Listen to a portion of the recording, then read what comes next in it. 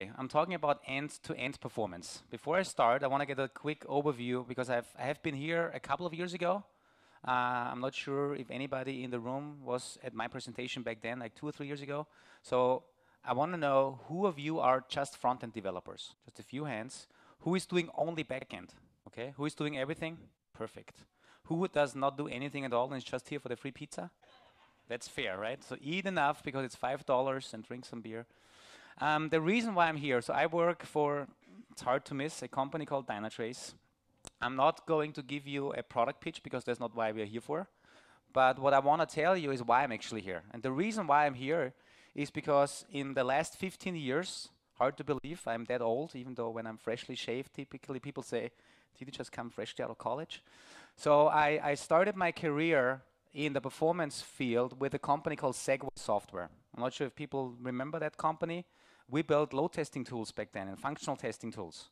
I started as a tester, became a developer, became a product manager, and then I became the guy who helped our customers back then to run huge load tests against their applications, break them, and then tell them everything is broken, now you're on your own. Um, which was great. Uh, after Segue, we became Borland, so maybe that's a company that also a lot of people know. Um, we got acquired. I stayed with these two companies for seven years. And after these seven years, I was kind of tired of breaking applications, but not being able to tell them why these applications break. Because that's the problem with the load testing tool. You break something, you look at the CPU statistics and network bandwidth and all that stuff, but that's about it. That's when I joined my colleague, who was the CTO back then at Segue, because he founded a company called Dynatrace. And he said, we want to solve the problem by sitting in the application itself, and if it's under load, we want to tell our customers why it's slow and where it's breaking. So I joined him, and he said, Andy, please you know, go ahead and help the clients, because not everybody is a performance expert. So please help them figure it out, you know, show them how to use the tool. And the cool thing with that is on the first thing, it gives me a lot of gratification when I can help people with their problems. Like you said, you worked on Black Friday, right, back there? So I, basically, we also helped a lot of people to have you know, a relaxing day on Black Friday, or at least as relaxing as possible. Uh, so started with Dynatrace. Dynatrace later became CompuWare. Three years ago, we got acquired by CompuWare. That's maybe a name that people also know in the industry. And now we're actually back to Dynatrace. So we got uh, bought again by another investor and they said, we love the product so much, we love the whole performance management stuff that you do, let's go back to the original name. So just in case you wonder what all these names are, it's always about performance and what I'm typically doing in these talks when I'm here, I'm not going to tell more about my history, but I want to basically give you the best practices that I've collected over the years. Why websites fail, why they go down, and how you can avoid it. Who of you knew uh, one product that Sergey was already mentioning, the Dynatrace Ajax edition? Does anybody know one awesome product? So uh, those of you that don't know it are probably the people that don't know that there used to be a time when there was a browser that was called Internet Explorer. It's ancient history, but it used to be the number one browser out there in the world. And Microsoft did a really crappy job in producing tools. There was no tools at all that did give any performance insight. So what one of our engineers who actually worked on our product, uh, which did Java, .NET, and PHP server-side performance analysis, said, I have no time, I have time left on the weekend, so I will just take this cool server-side technology and build something for the browser.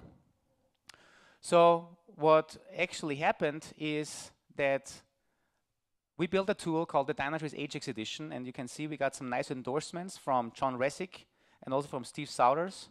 I hope these are two people that you are familiar with. John Resig is the guy who created jQuery.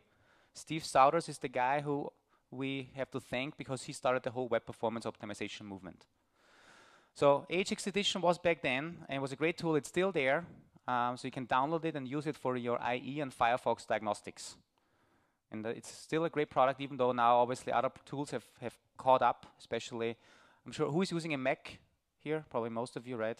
Unfortunately, it not doesn't run on Mac because there's fortunately uh, these browsers that you use there have own their own um, great tools that come with the product with the with the browsers. And it seems for whatever reason my slides are actually moving all along on their own.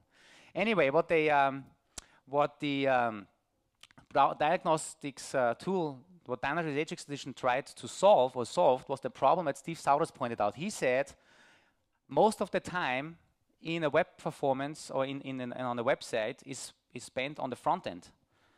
And so don't think about the back end, do everything on the front end. That's what he said, and optimize everything because you want to optimize end user experience.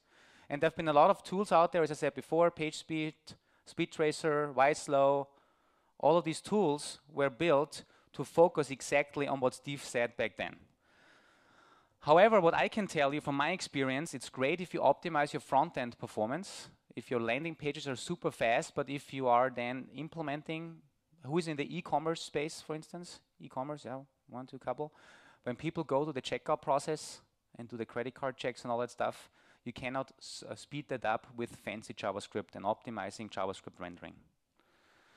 So that's why what I say, it's obviously web performance is about front-end optimization, but it's also about back-end optimization. What you see here, I know it's a little hard to read maybe, but e these are some real-life examples of one of our customers that had their own web applications, and some of these requests take 60 seconds, 133 seconds, and the reason for it is not because it's slow on the front end. It's slow because of back-end reasons. And that's why I want to raise the awareness here that please follow all the stuff that Steve Souders said, but also listen to people like me because there's more to user experience than what happens in JavaScript and CSS. So in this case, extreme example, 99.9% happening on the backend. Doesn't matter if you're optimizing your JavaScript framework. The last thing on the tool front before I go into my presentation, so for those that know the Ajax edition, and also for those that don't know it, uh, today we released the next version, so Dynatrace Ajax edition 4.5 is now available to download. But as I said before, this tool was only doing front-end development, and we, have, we are strongly believer that you also need to go into backend. And that's why we also have an offering now, a free offering, which I am responsible for spreading the word that you can now also download Dynatrace and you can register for it which is the full end-to-end -end product where you can do everything for free on java.net, PHP, uh, any type of web application. And you can download everything on ajax.dynatrace.com. So this is the last pitch that I do on the tools. Because now I want to go back to why we're here for today. The reason why we're here for is because nobody wants this. Nobody wants Apple going down unless you're Microsoft or Google, right? If you go to their website, to their store, this is something that you typically don't want. Nor do we want to have something like this. If you're a mobile developer, who is, mobile who is doing mobile app development? Okay, you don't want something like this to happen. The FIFA World Cup app, two days before the FIFA World Cup, the soccer World Cup, they play with the foot, it's called football in Europe, crashed most of the time for most users two days before the tournament started, which is the biggest thing that can happen to Europeans. It's awesome. And so this was obviously something that you don't want to ha want to have. Because why don't you want to have this? Because it leads to things like this. This looks like a party, but it's not really a party. It's a war room scenario. This is a picture from Facebook in 2012 when their website went down because too many people tried to post too many funny images of cats or told too many people how often they go to the loo I don't know what they did, but anyway, Facebook went down, and if Facebook goes down, that's obviously their lifeline. They don't make money because people don't click on the ads. Who has been in a war room before? Yeah. The only good thing is that you also get pizza, but I think it's more fun if we get pizza here and not in an environment like a war room. Potentially, the whole thing leads to this. Making it to the news. The FIFA World Cup app, made it to the Daily Telegraph, British newspaper. And uh, Facebook also made it famous into some of the online news when it went down, or every time when it goes down, it makes it to the news. And this is obviously something that we want to avoid. Nobody wants to work for a company and sees this in the news. It also leads to things like this. It leads to bad user ratings, especially if you have a mobile app that you put on the App Store and you want people to use. If you get bad ratings like this, everything that is highlighted in red here, basically people complaining about crashes and how crappy the app is, and they are a football fan, they want to see the results of their team and they cannot do it. How can this happen? Nobody will download this app anymore.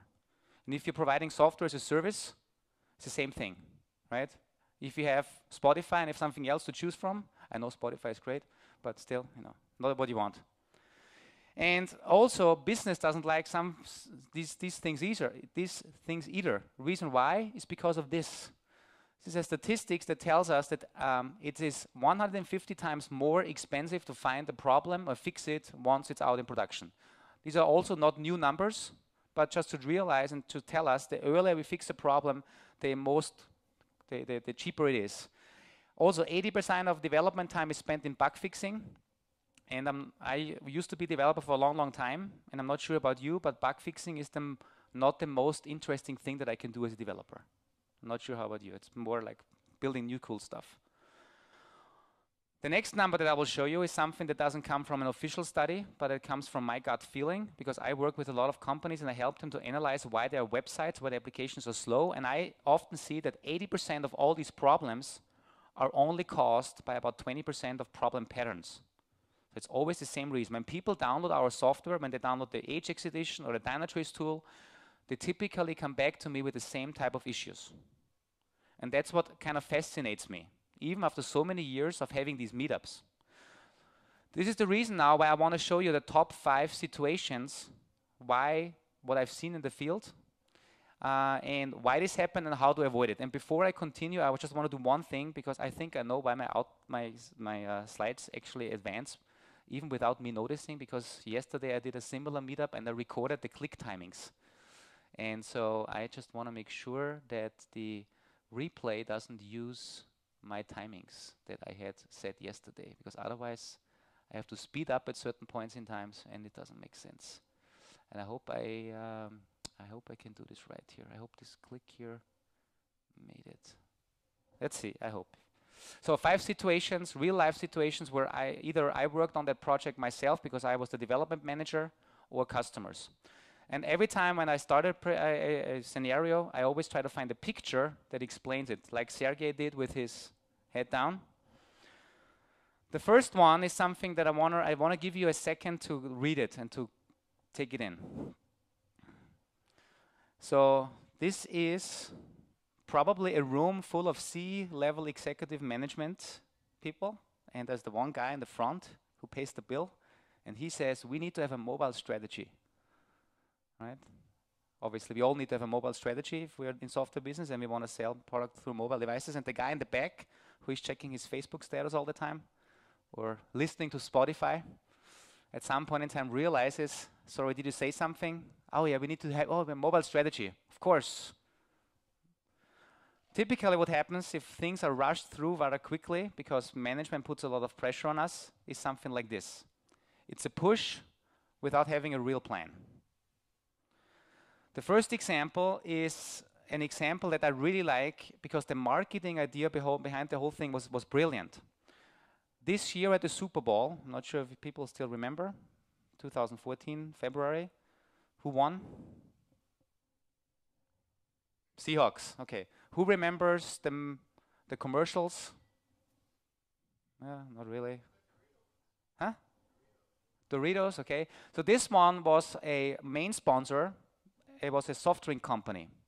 One of the big ones, not Coca-Cola, maybe the other one. So they had the brilliant, hmm?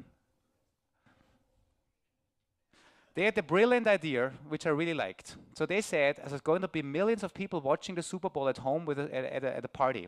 So why not let them take selfies of their party? So I would be standing here and taking a selfie of all of us, uploading it to their website, and then when people with their mobile device go to the website, we show the last 400 uploads in a 20 by 20 grid.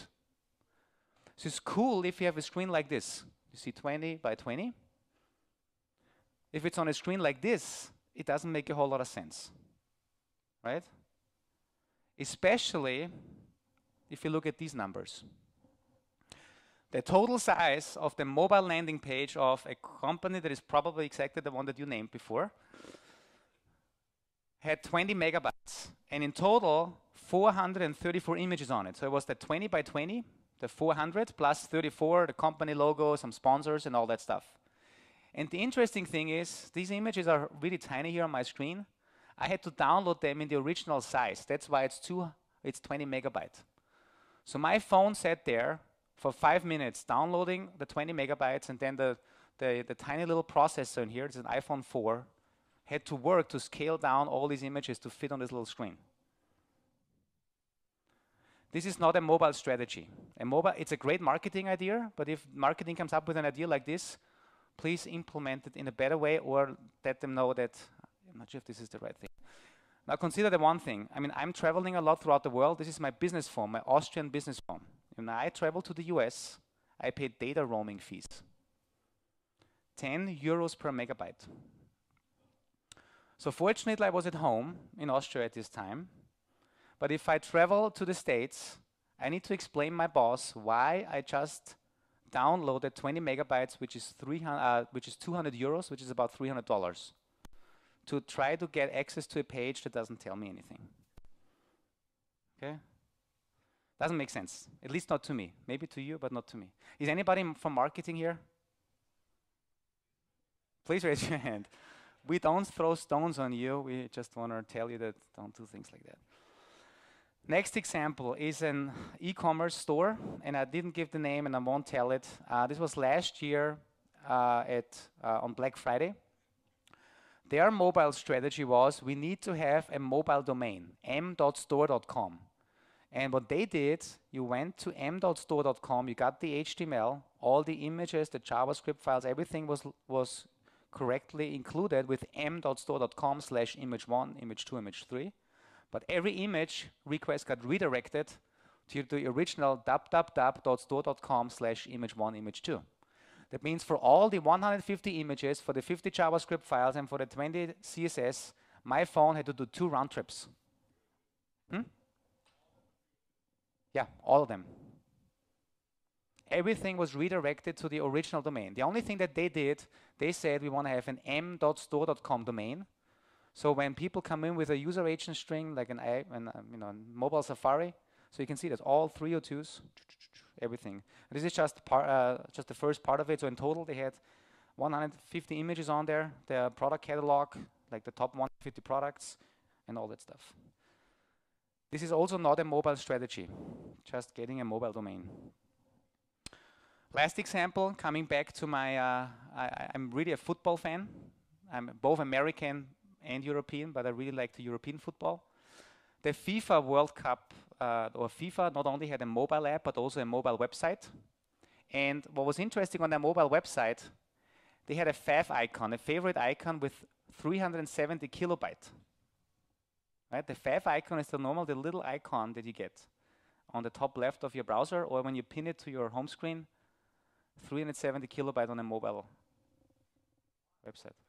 Why? Because it was a huge icon that was on there. It was like, I don't know, extreme resolution. Somebody just, somebody got the, somebody was probably tasked, we need a fav icon, and probably got the company logo of FIFA and just put it on there. And not, didn't think about the size of it. So what I'm saying is, I know we all laugh about this, and we all think this is, makes total sense, right? We would never do this. But I'm pretty sure these guys that build these web applications, they're also not stupid, but sometimes things just are forgotten or somebody pushes something through. They, they know all the stuff about what Steve Souders said. So please take this into consideration the next time when you build something, when you deploy something. This should not happen. Also, what I always try to do with all of these examples, I want to give you some metrics that hopefully are known by you, but just again, let them th sink in. You should always look at the number of images that you have on the page. Remember the soft drink example, the number of redirects and also the size of your resources. If you look at these before you check in code, when you do your testing, when you go into production and deploy, if you always do a sanity check first, these things should not happen. Next example, and I told you I'm always trying to find an image that kind of reflects what I'm going to say. In this case, what do we see? Inventors, it's right. Reinventing the wheel, right? By hmm? latency too. I would say calling this reinventing the wheel with existing components, with other components. Sometimes, you know, in, in engineering we should reuse components that proved well. Like I don't need to write my own OR mapper all the time. If it's already there, I don't I, know, I don't need to rewrite jQuery every time because it's already there and proven. Sometimes, however, what happens is that engineers, and I'm picking on engineers now, are often blindly reusing existing components. And what that means is the following. I, um, this is an example from my own world. I told you, not, i think I mentioned it, I'm responsible for getting the free Dynatrace tools to you. So I took over the job of making sure that everybody knows about our free products and that I can not only tell you now and you go to our website afterwards, but I can also invite you. So if you give me your business card later on, I can go home, sit at my hotel and send you an invitation. When I took over that job, I said to my engineers, I want to have a report. So if I invite somebody, I want to have a report that tells me which people did I invite, and what is their status in the free trial process. Did they get the email? Did they click on the uh, activation link and all that stuff that we have in the process? The guy that I tasked with this task that I asked to do this was a backend developer and he was only implementing web services so far. He implemented all the web services that handle the registration process, that's sending out the emails. He has never written a web application in his life before. But I told him I need this report and I need it right away. So I pushed him. What he did well, let's say, I ask you the question, what would you do if you are tasked for new stuff that you've never done before, but you don't want to admit it, and you want to get started? What's the best thing you can do? Go exactly. Google it, copy something. So, hmm? Stack Overflow, exactly. So that's what he did. He Googled, he found something, he found a sample application on GitHub that showed him how to create a web report out of two database tables because we had two database tables where all the data was in there. He took the sample app, he converted it to his needs, and I got my nice little report. This is my report that shows me which people I've invited, I'm the inviter, which status they're in. So three people that I've invited, this was early this year, and it worked super fast. I, didn't need to look nice, this is just a report that I need. Um, it was super fast in the beginning, when I took over the project, we had 50 people in the whole database. And every month, every week, every month, this report became slower and slower and slower until in August, I called him and I said, it takes over a minute now to get the report that shows me three individual lines. I cannot use this report anymore. So he said, I don't know what I did. So what we did, obviously there's no fancy JavaScript here that could be optimized, right? Everything was in the database. And what we did, fortunately, we own our own products that can actually, we use our own products that can analyze performance issues like this. So next screen, what you see, we looked at all the database statements that were executed to generate that report. So these are individual, so two select statements, and they were called in total 4,000 times. The guy, my engineer, he never wrote a single line of SQL because he used the sample app that used Hibernate where Hibernate is a great framework, but if you don't use it correctly, then something like this happened. In his case, the way he implemented the code, he said, Hibernate, give me all the free trial members and I will iterate through all the objects in a loop.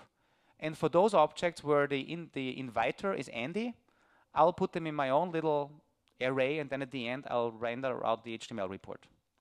So basically, every single free trial member in the database got loaded not only those that I invited, but everything got loaded into memory. And the more database statements, the more people who had on the free trial, the more database statements were executed, and therefore the whole repo took much longer. The thing what I'm saying, what I want to say here is if you're reusing components and they're shielding off the complexity of getting into a database, please still sit down and look behind the scenes in how these components internally work. Because for Hibernate, Hibernate is a great framework, and there's other OR mappers out there as well but you can configure them.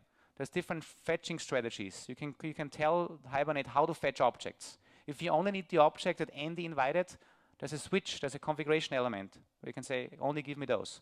Then Hibernate will only execute one SQL statement and return all the data that you need. But this was an interesting aha moment. So 4,000 statements in this case. So the key metrics that I think you should look at if you do, if you analyze the performance, look at the number of SQL executions that you have and also the number of same SQLs. Why do I say same SQL statements? Because iterating through the lists, this is the typical n plus one query problem pattern. So you say, give me, it's like one select statement, give me all the IDs of all my free trial members, and then for every single ID, you have an individual select statement. That's the n plus one. And if you look at these metrics, then you and you do your own testing, and then you see, ah, interesting, just executing a thousand database statements. Maybe not that good. Make sense? Next example. Um, what does this tell us? Beautiful house, an architect that made, that designed the nicest house, but the first storm that came through blew it away. So probably he made some architectural decisions that were not that well. So what I'm what I call is architectural decisions gone bad. And in this case, I have to again point at myself. Um, we are using Confluence for our online and public community website. Confluence is known from Atlassian, yeah. So it's a great product for collaboration. You know, you can Jira as well for ticketing, yeah. So we use both systems, but Confluence we use for our community portal. This was our community portal, at least the header that we had early last year. We had 53,000 people on it. So every every Dynatrace Ajax Edition user, every user of ours, free or commercial products, get access to this system. And I'm responsible for it. And I got complaints from users. They said, "Well, Andy, there's a lot of great content on there, but first of all, your website looks like 2010. I cannot use it on my iPhone because it looks crappy, and it's super slow. And if I post something on your forum, and you answer it, I never get a notification about it. So no social features. I said, fair enough, we are on a version that is two years old, we never upgraded. So it's time to upgrade and give the whole thing a facelifting. And before we upgraded, we also looked at the release notes. So it's an off-the-shelf product, Atlassian, uh, Confluence, and it said, latest version, support for mobile end devices, social interaction features, optimized perform huge performance improvements. So we thought, awesome. So we upgraded and also gave it a little facelifting. So this is what we wanted to look like. Before we upgraded, what we did, because we didn't have a staging environment back then, because we thought it's an off-the-shelf product, we can just upgrade it, and everything will be fine. Before we did though, just to get a little bit, at least a sense of how the system behaves, we ran a load test. So we are, I'm, i have a load testing background and we also have a load testing product in our company. So what we did, we ran a load test with 200 concurrent users. So the blue line starts from zero and over the course of two hours we ramped it up to about 200. And the other metric that we looked at were the number of requests executed for these simulated users. So we knew from our production monitoring that the typical user on our community goes to the homepage, clicks on login, clicks on a search or does a search and then clicks on a documentation. So four pages. We simulated these four pages and found out that these four pages cause about 200 round trips. Download the HTML, the JavaScript files all normal. We didn't have a staging environment, so we saw we thought nothing will go wrong, but just to be safe, we do the upgrade on the weekend, on a Sunday, run another load test, and in case something goes wrong, we still have the Sunday evening to roll back. So we did the whole thing, we ran the load test, and unfortunately, we had to abort the load test after only like about an hour into the thing, only with like 20% uh, of the users because the whole system crashed. And the single key metric that told us what the reason was, was the number of requests per users now. So for the same four pages, instead of executing 200, we now had 400 requests coming in. 400 HTTP requests coming in for the same number of users for the same four actions.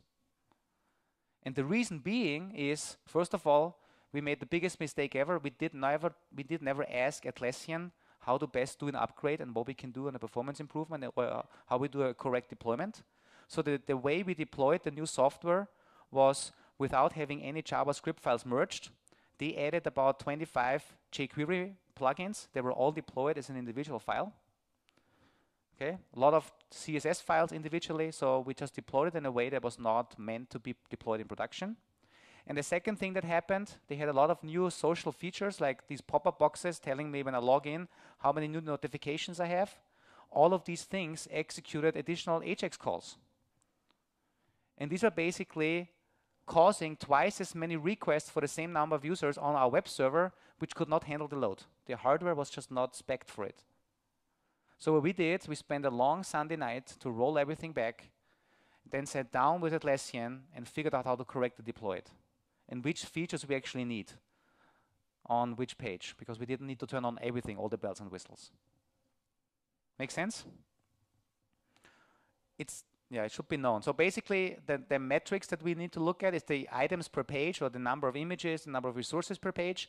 And also, because obviously I, am sure you build a lot of one uh, single page web applications nowadays and you do a lot of Ajax calls, XHR calls. You want to also figure out how many calls you really do. You know, is it really, then you're pounding the server all the time. Next scenario and, and I'm sure this is fake, at least I hope it's fake. But what this tells us, if I am the guy who operates the train, so I came down from Boston today with the Acela. Uh, so if I would be the operator, I would be scared. Uh, I would assume a certain environment, but in this case, it's we should not assume. You cannot always assume how the environment looks like. And can you can I please have another raise of hands? Who is doing mobile development? So mobile native as well. Yeah. The example that I'm going to show you now is from the number one sports tracking app in Europe. The company is called Runtastic. I know they also entered the US market, but I think I'm not sure if they are that big in the US, but they're called Runtastic. And it's a sports tracking app you can take with you and then you run and you bike and you do whatever and it tracks basically what you did. And at the end you can click on the little brag to my friends button so load it up on Facebook and tell the people what great job you just did. What's interesting with these apps, the reason why people are very loyal to the apps and don't move from one app to the other is because when the longer you use it, the more history you have and the more features you can enable. Like where did I rent last week? What is my average speed? How can I improve? So people stay with the app, but if something happens, they actually complain. They actually pick up the phone and call them or at least send a nasty email or write something bad on Twitter. In this case now, this was one user that complained. And what this shows here, this is the, uh, the GPS map or the, the location, uh, the track that he, that he biked. So he biked, and from top to bottom, this is a, an area that's uh, 10 kilometers, so six miles.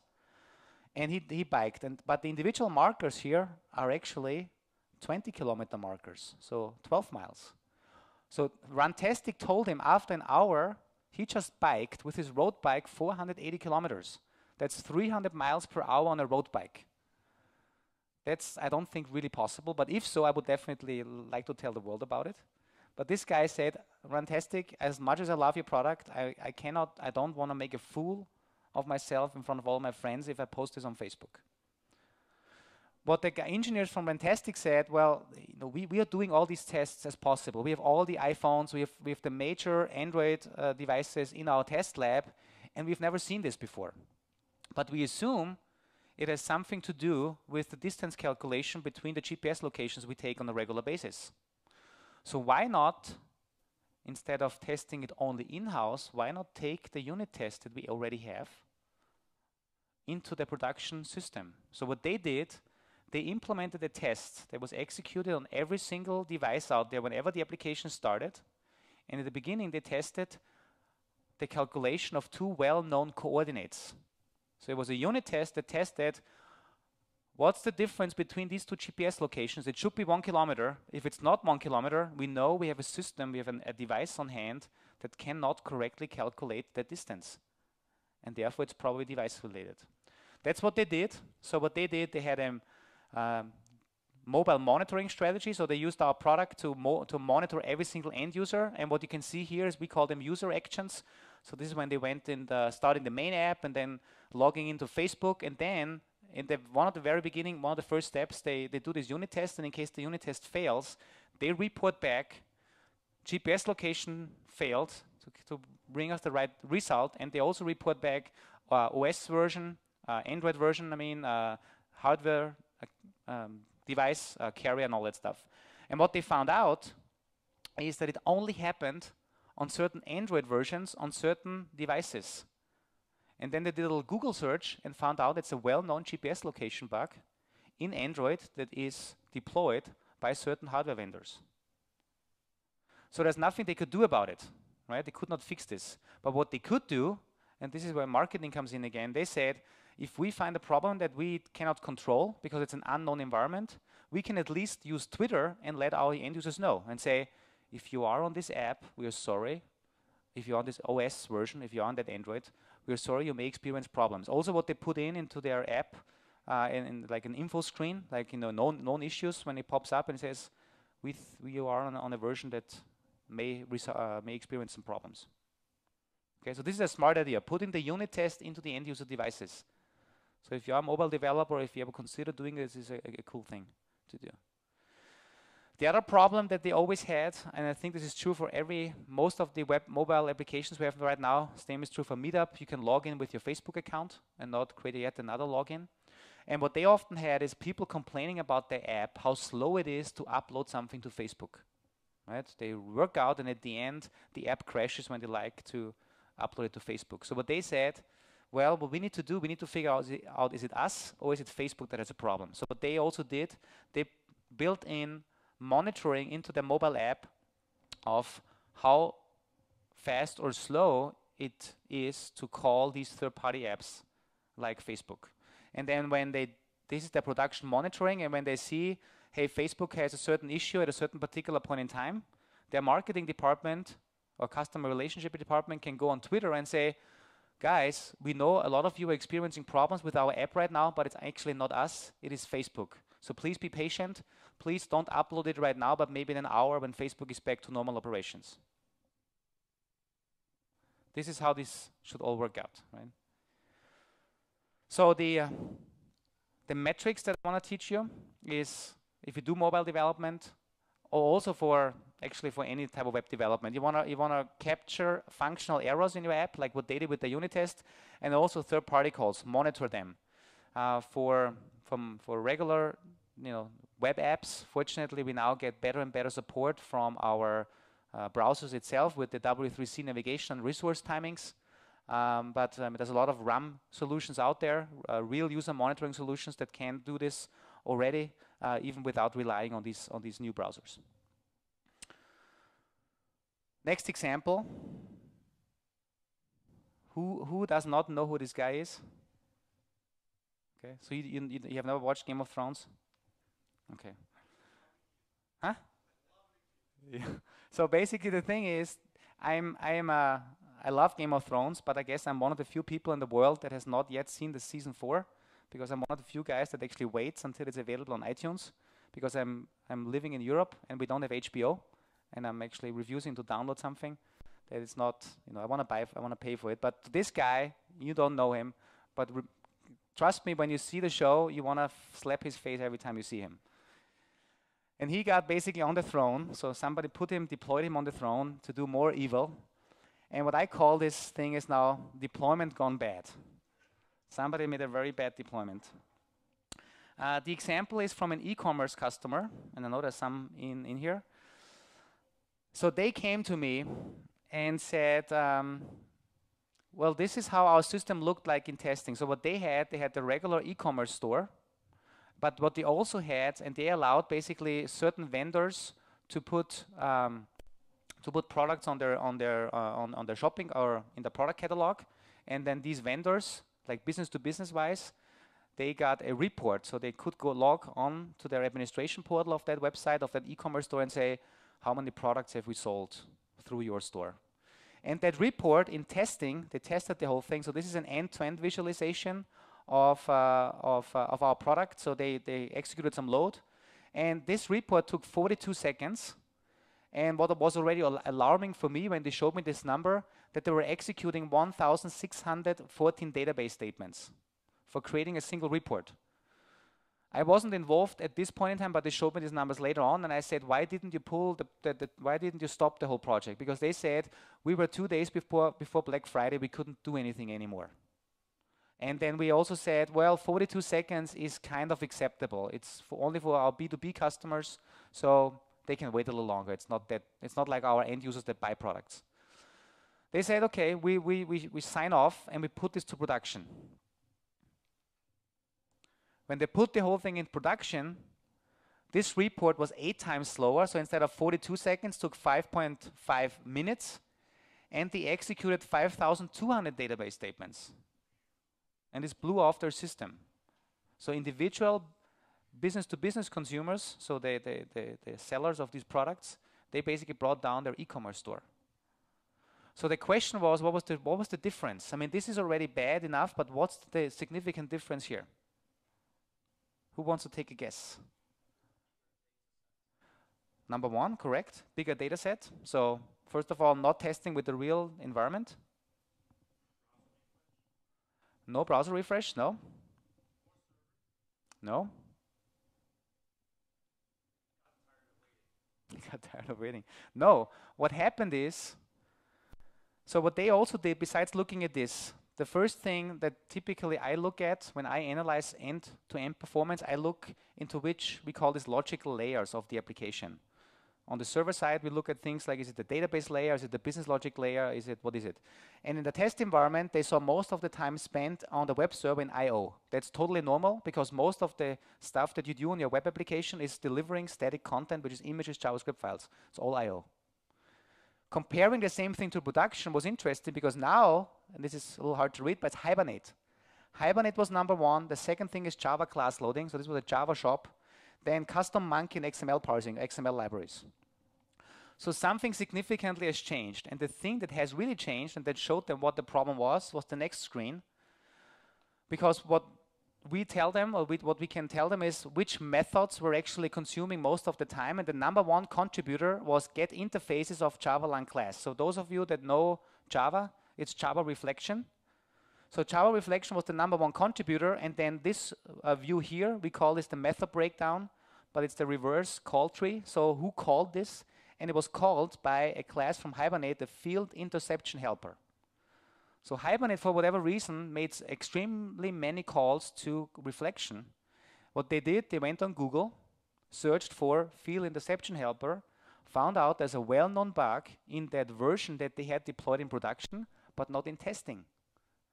So they had two different versions of Hibernate deployed, that's why they didn't find this problem in testing.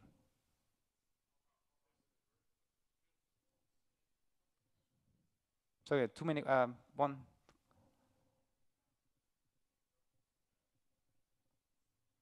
Well, the thing is, the build tool is the same, but the people that deployed the app just deployed a different version. They, they applied patches before they put everything because on Black Friday they wanted to make sure they are on the latest version of everything and they unfortunately deployed a version that just recently was in, had, had a bug introduction. That's what happened. And they, in testing, they didn't test it with this environment, and production, they upgrade to the new version.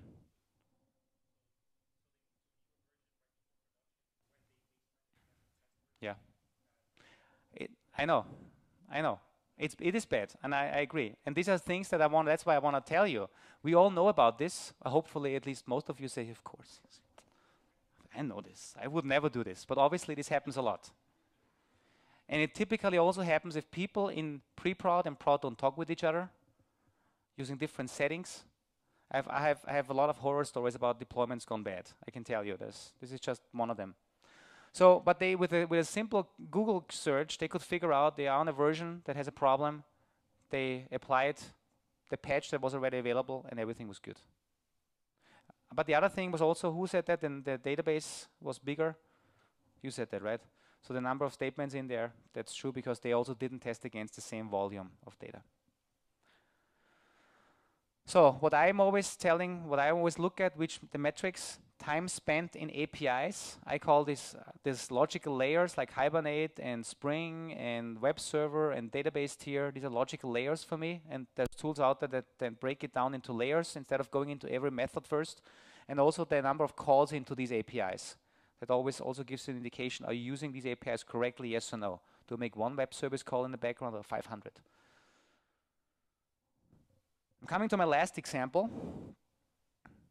And I like this a lot because it's uh, it goes also in the area of not not now Black Friday, but Super Bowl.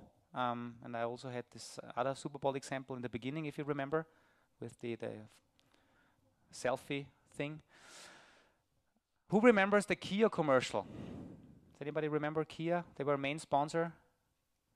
They had a real cool commercial. It was uh, Godzilla chasing these cars through, I guess it was New York or some city. And it was a Hollywood production. There was Lawrence Fishbone, I think is his name, Hollywood actors playing in that in that clip. The clip was 90 seconds long, and 90 seconds uh, time on the air is 12 million dollars. Okay, that's how much it costs. So do we have any marketing people in the room? No. Salespeople in the room? We do. I know. I know you are.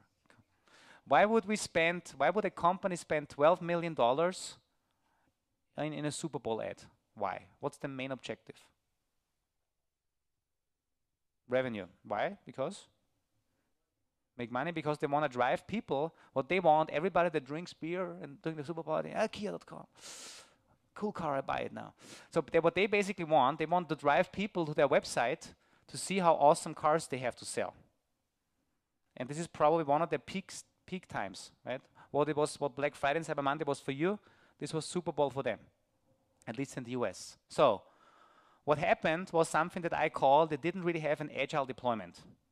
And what I mean with this is the following. Um, we not only do deep dive diagnostics, as we call it, so end to end from browser into the database, but what we also do is uh, availability monitoring and, uh, and response time monitoring.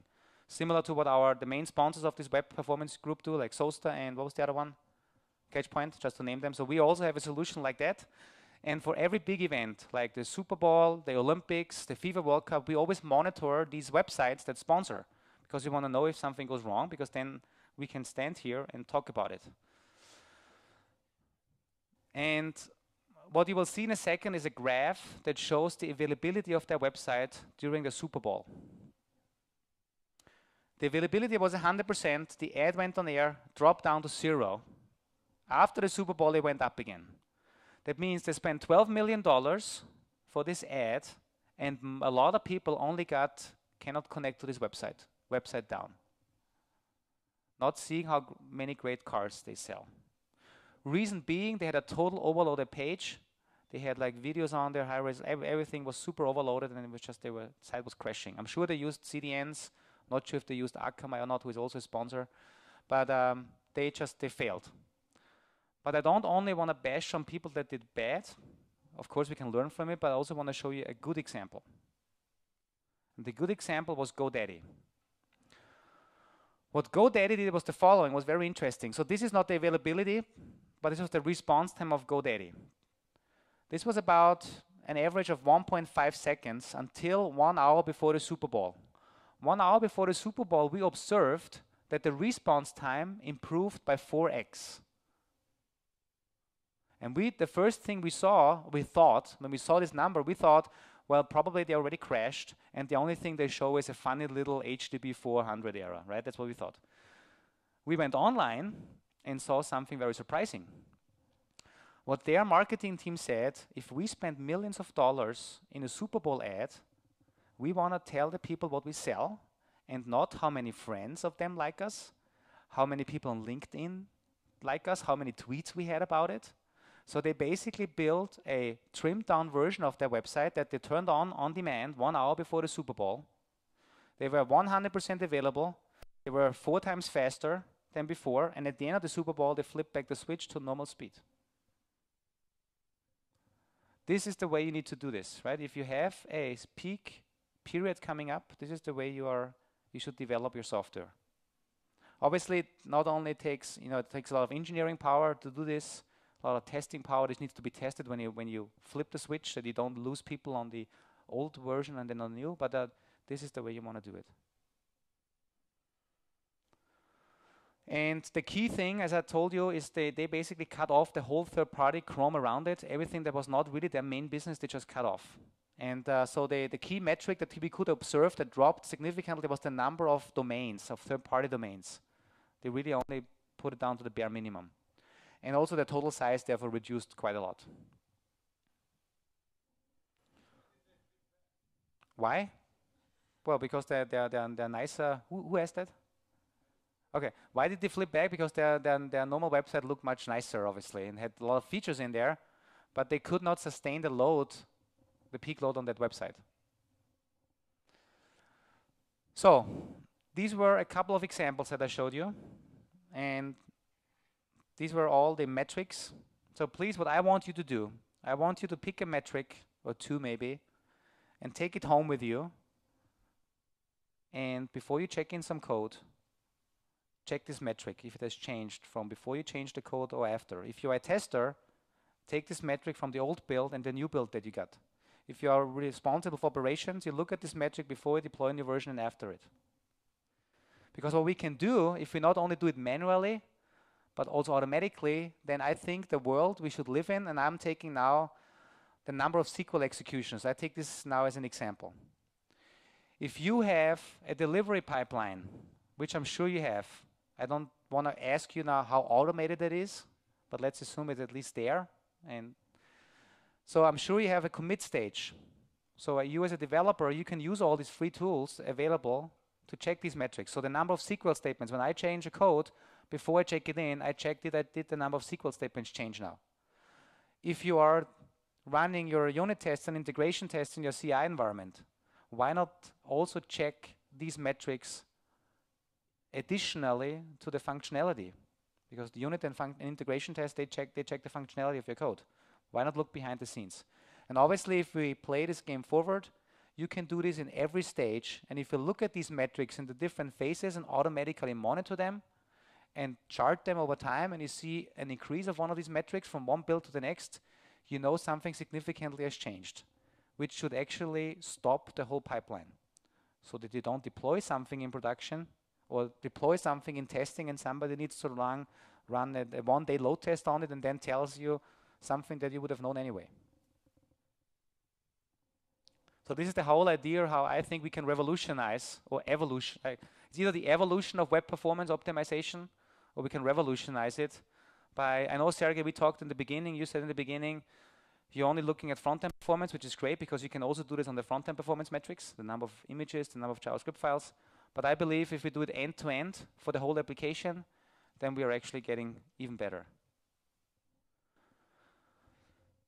And uh, yeah, one thing that I want to offer, because I'm, uh, I'm in the um, lucky situation to not only have free tools that I can tell you about, but I also got time from my management to not only give the tool to talk here, but also give you advice on your own application. So what I have started is what we call performance clinics, or I call them performance clinic. And the performance clinic works in a way that if you use tools like YSlow, PageSpeed, or maybe Dynatrace, you're probably not the expert right from day number one. You don't know what data you're looking at if you're not dealing with performance every day. But I look at da this data every day.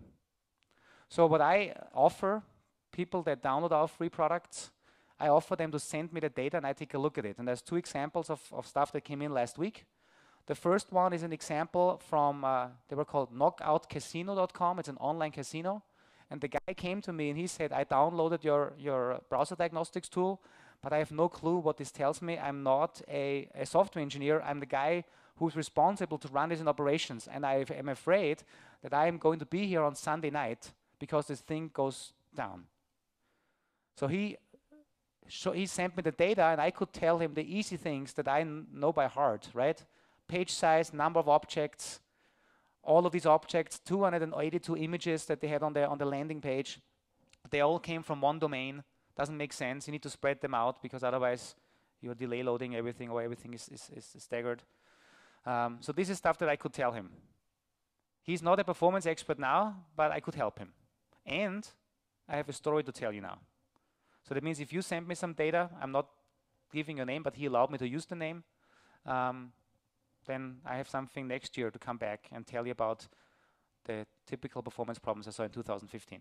And the second example, this was one from a uh, uh, also a, a, report. So it was a guy, it was a Java application, and he said, hey, the report is ran. I mean, I, am I'm, I'm a tester. I have, I have, no clue about Tomcat. We're using Tomcat. I have no clue about it. Never seen it before. I'm just testing it. But it takes very long, and the data that I saw, not only how long the report took, but they had one SQL statement running very long, and they used a version of log4j, which is a common Java logging framework. First of all, they had debug log mode turned on in, in load testing and also probably would have gone into production. And they had a version where uh, the appenders were synced. So they had multi-thread, multi-threads going on and they were all syncing. Uh, that means they spend a lot of time in sync, synchronization. And they also spend a lot of time in rendering. They used uh, the AWT, I don't know which rendering, there was a report framework that is based on AWT, and that was just not used properly. That's why these reports that should take a second or two took 500 seconds.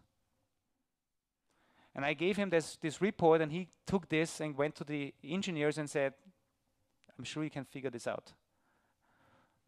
And now the engineers are using this product as well on a day-to-day basis. So what I want to offer you, in case anybody's interested in it, if you want to get started, um, first of all, every other week I do an online version of the whole thing. So you can go to bit.ly online perf clinic. So I show how, how I do my sanity checks and I teach you. They're also going to be recorded and put on YouTube. So if you don't have time every other week.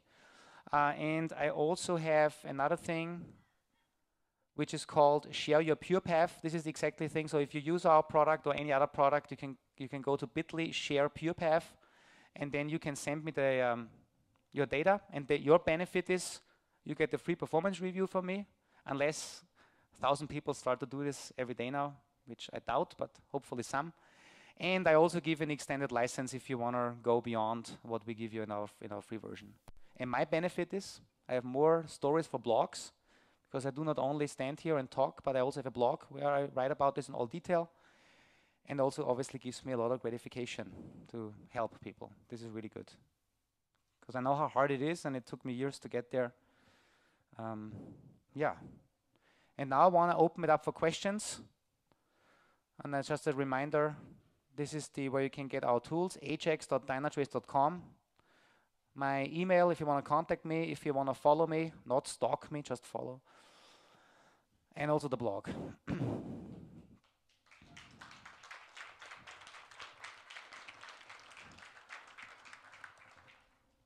Any questions? Yeah?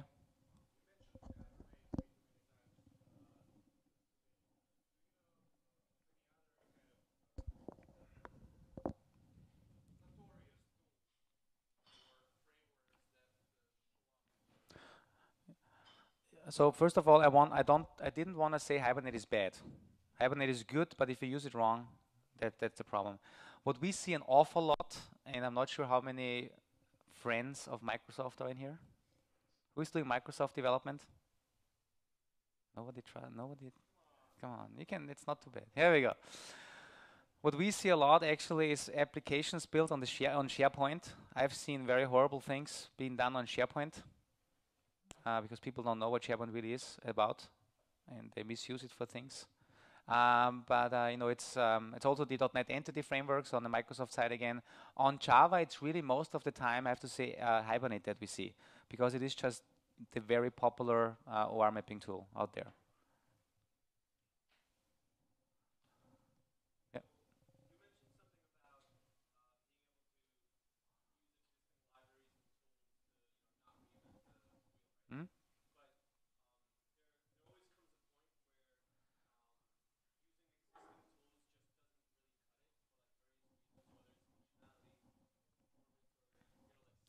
Yeah.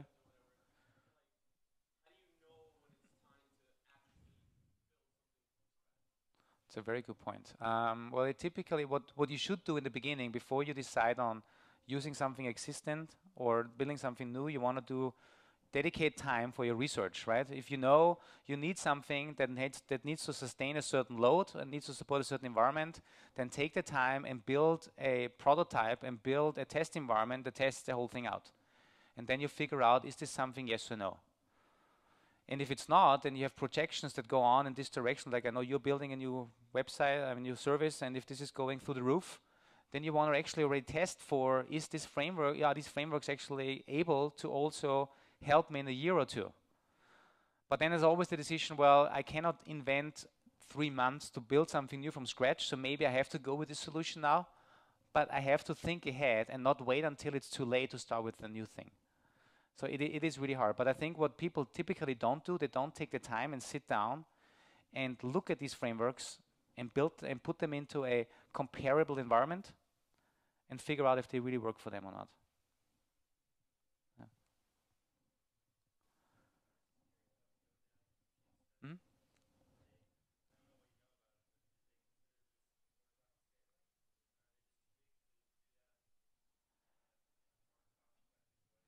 No, but they so so okay. The question was, what did GoDaddy do, and and whether they did it with horizontal scaling.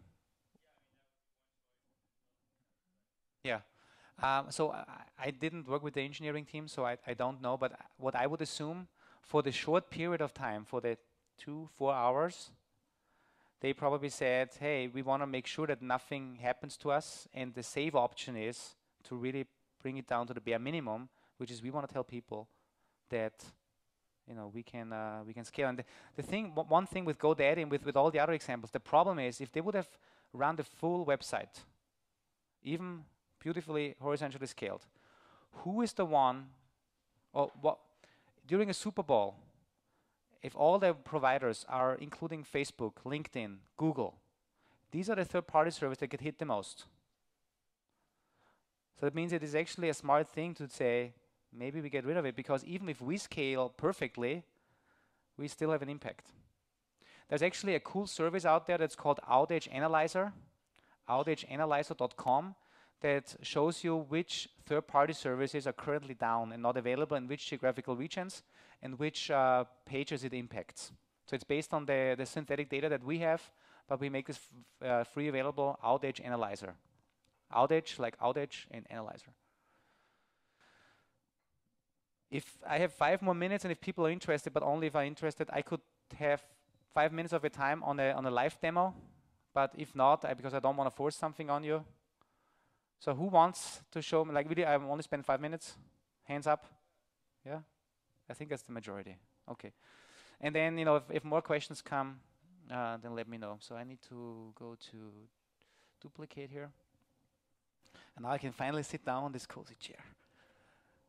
And by the way, if you like these stickers, I got some stickers for you because we should spread the word that Dynatrace is an awesome product.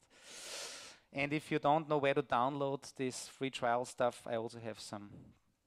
Because I told you, I told my boss, spread the word that we have a free new tool available. So what I have here is a lot of open windows, boy. Choo, choo, choo. Where is my, here's my Dynatrace. So um, what I have in my environment is I have a sample application running on my machine. And the sample application is called Easy Travel. And Easy Travel is a travel portal. Uh, it's built on uh, uh, Java Tomcat, so two, two Java Tomcat servers. There is a C++ component, there's an Oracle, uh, there's a database behind it, and the front end is a mixture of Icefaces and jQuery and uh, we also embed some third-party components. But it's basically a travel portal. Why do we use this? Because people typically know what travel portals do.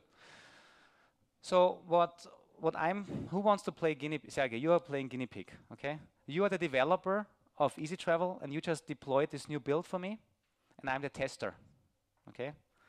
I'm testing the use case scenario of booking a, a journey to the most beautiful city in the world, which is my hometown, which is Linz. L-I-N-C. So I'm entering these keys, and you can see here that if I do things, then it's like Ajax calls going on. And then I click Linz, and uh, it's in Austria. And if I click on search, you can see we have palm trees all over the place. no mountains, no snow, nothing. It's just white palm trees. So I book a, a, trip for 199. That's awesome. That's a very cheap price. So I need to log in, and I'm using a pre-configure. I, I, know a, a, user in the database, Monica. Monica. I click on login, and I wait and wait and wait, and then I think, Sergey, what did you do? So I start opening in the site, normally opening up my Jira, and I start typing in my Step one was this, step two, login, everything is slow, then I make a screenshot and, and, and add it to the ticket. If I would be a real user of this production environment, I would probably now go to hotels.com or whatever other platform. So, but I'm a, I'm a, uh, a tester and I take my job seriously, so I click through all the scenarios and I enter my credit card information and I do this with this little click and everything is pre-populated, which is awesome. Click on next and click on finish and then I am done and I say, I send to you the Jira ticket. And you get the Jira ticket, and what do you do? You took the pictures, exactly, at the nice ladies, yeah? And what else do you do? Are you happy because you just got another bug ticket? Probably not. Yeah. First of all, you curse me. Another bug. No. But probably if you actually take the time to reproduce it, most often it says, it works on my machine. Right? Typical scenario. So worked on your machine, so you probably ping it or put it back to me. What I can do though, because I have Dynatrace running uh, on that system, And what Dynatrace does for me, it, it analyzes everything end to end from the browser, every single interaction. And the, what you see here, this visualization is what we call the transaction flow. Uh, I'm sure people know other similar products in a similar field, like AppDynamics, New Relic is probably something that people know. So similar visualization, the only difference is that this is built out of tracing every single individual web request down to the method level and we don't sample. So AppDynamics and Relic do a great job as well, but they were just built for production only, meaning they don't want to capture every detail. We capture every detail because we think you are the one that should decide whether you need every detail or not. So um, I could now analyze everything that's on my system, but what I really want, I want to search my user Monica. So there's a little search button up here, and I want to search for Monica because that's the username that I used. I search for it, and I found the reason why I find four because my test system, I also have, I have some built-in load generator, so I'm running also load test in the back. But the one user, the last one here, Monica, it's hard to see. Monica from 127.001, my local IP address, using an IE10 Yes, I know I'm using an ancient browser, but I still like it.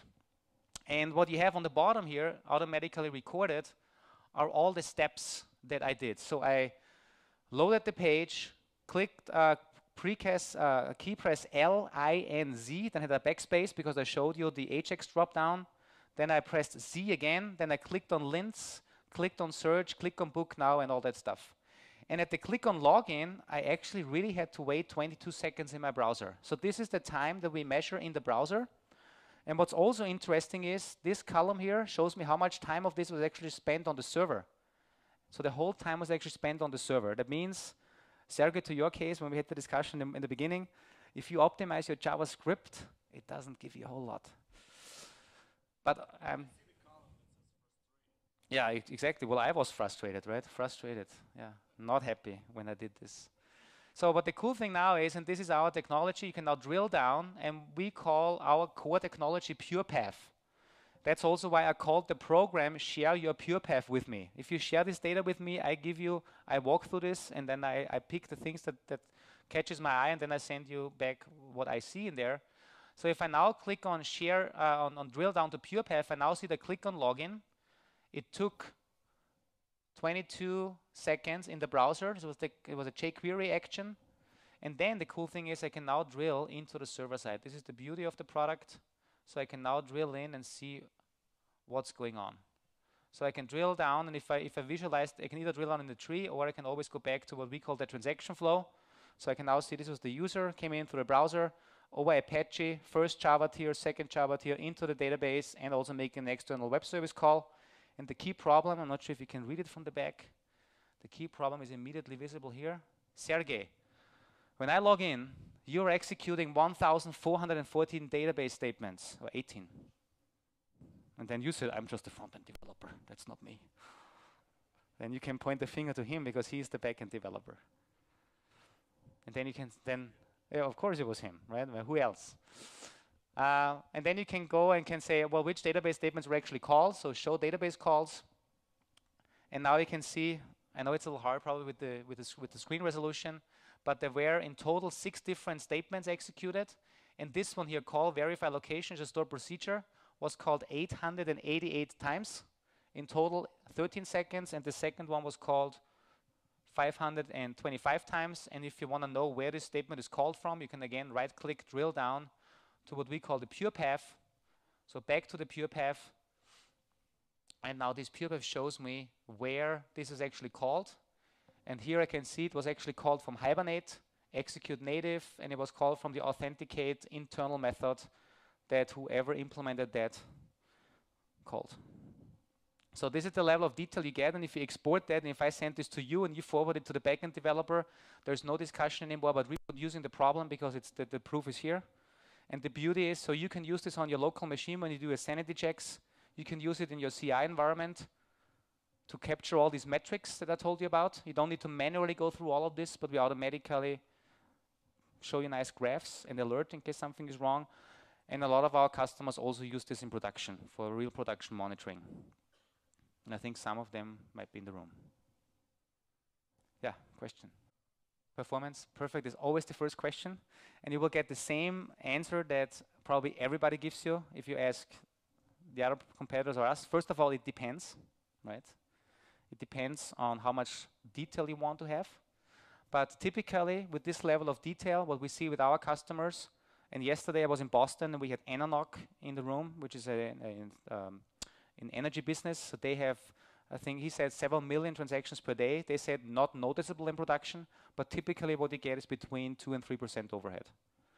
And the overhead means that we what we add to the, the response time. So if the response time takes normally like a second, now it takes one second and three milliseconds oh, and 30, 30 milliseconds, or something like this. It's very, it's almost not noticeable. No, all, everything. You want to have it all everywhere because the reason is you don't know where a problem hits you, right? If you have a distributed system where components talk with each other, you want to have it. If you have a load balance system and you're unlucky and you always pick the wrong one, what does what good does it do? If you have a bad deployment of Hibernate on one of your machines but not the others because you didn't follow the real procedures. So yes, we have customers very close to here that run this on several thousand JVMs.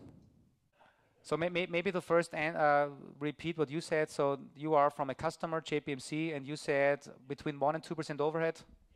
Yeah, yep. yep. Cool. And then your back, your question back to him. Sorry. We have the agent on one of the servers, and uh, we only put it on one of the boxes because it does significantly affect performance. So that box that has it has a less ratio, 20% than a normal box would, because it does add a lot of overhead. Mm -hmm. Which there's a lot of detail here. I'm surprised that it does the two, two to three percent on that. So if you don't believe me, I hope you believe our customers. And what this also tells me, the reason probably why you chose the competitive product, it looked very shiny and sexy. Not everything that is shiny and sexy doesn't need to be the best thing. I'll leave it with that.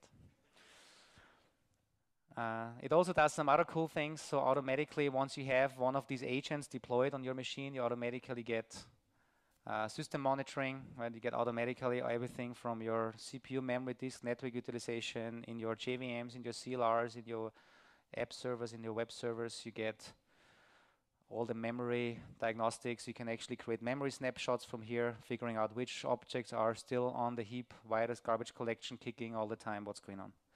So I know I took more than five minutes, so that's why I'm stopping because I don't want this to make this a uh, presentation. Just a reminder, if you want to contact me, then this is where you, this is how you can contact me.